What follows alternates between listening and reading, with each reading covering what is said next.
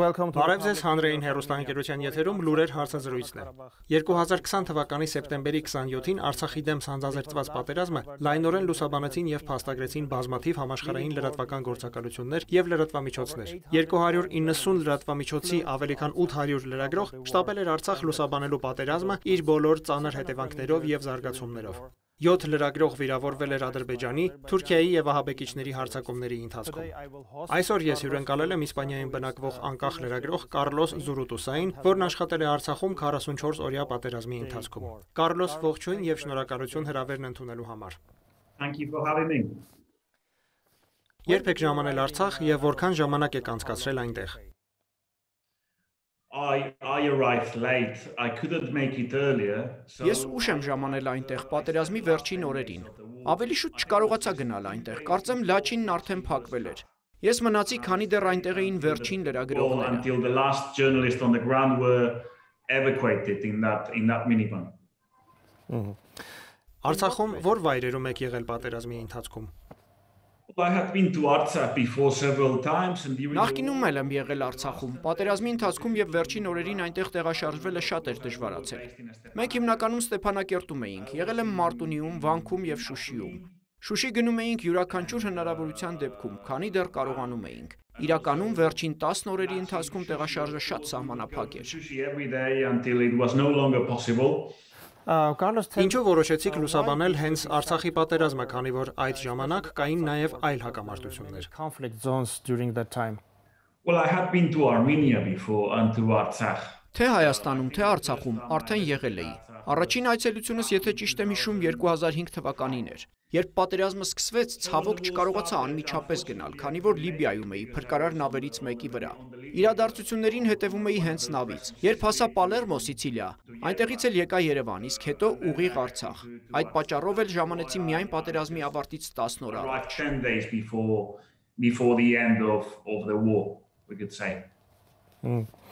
You have been covering many Դուք բազմաթիվ պատերազմական գոտիներում եք եղել։ Խնդրում եմ ասացեք, թե ինչն էր ամենածանրը ձեզ համար What was Արցախում։ the hardest part in Artsakh for you?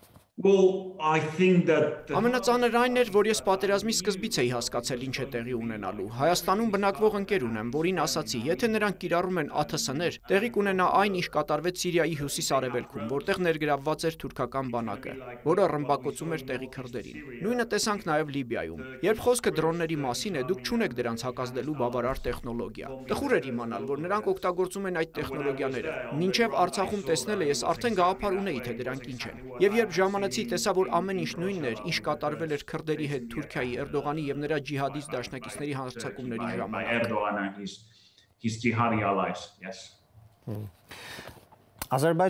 uh, Ilham Aliyev Ադրբեջանը եւ Ալիևը հերքում են, որ իրենք պատերազմի հանցագործություններ են գործել Արցախի ժողովրդի եւ միջազգային լրատվամիջոցների հանդեպ եւ պատերազմի ընթացքում ներգրավել են ահաբեկիչներին։ Որպես բազմաթիվ հանցագործություններ տեսած եւ փաստագրած լրագրող, ինչ կասեք այդ կապակցությամբ։. What would be your message to them? Well, we've seen the use of mercenaries. Uh, Ահաբեկիչներին միայն Ղարաբաղում չէ, որ օգտագործել են։ Ցավոք նրանց մասին շատ լավ գիտեն Լիբիայում, Սիրիայում։ Մենք տեսել ենք, թե ինչպես են տարածաշրջանային երկրները, ինչպիսին Թուրքիան է, նրանց օգտագործում բնիկ ժողովուրդների դեմ, ինչպես օրինակ քրդերի դեմ։ Հարցն այն է, որ նման երկրները պարզապես վճարում են այլազգիներին, տեղաբնիկներին սպանելու համար։ Եվ ակնհայտորեն դա այդպես չպետք է լինի։. Um, Որպես փորձառու լրագրող, որը լուսաբանել է տարբեր պատերազմական գոտիներ, ինչ հնարավորություն եք ունեցել ձեր փորձը եւ գիտելիքը փոխանցելու հայ լրագրողներին։.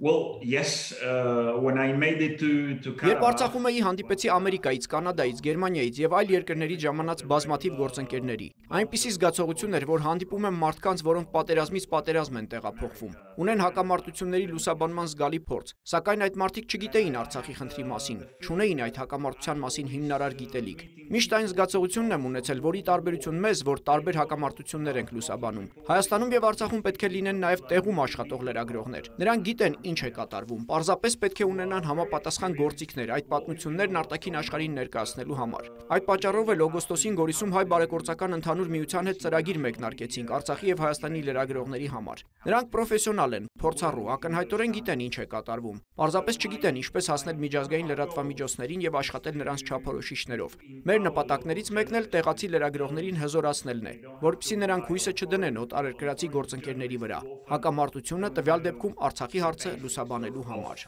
In this case, the, the conflict in Artsakh. And my last question uh, in Baku Իլհամ Ալիևը Բաքվում բացել է այսպես կոչված ավարի պուրակ, որպես տարբեր պատերազմներ լուսաբանած լրագրող։ Ինչ եք կարծում այդ պուրակի մասին։ What do you think about this trophy park?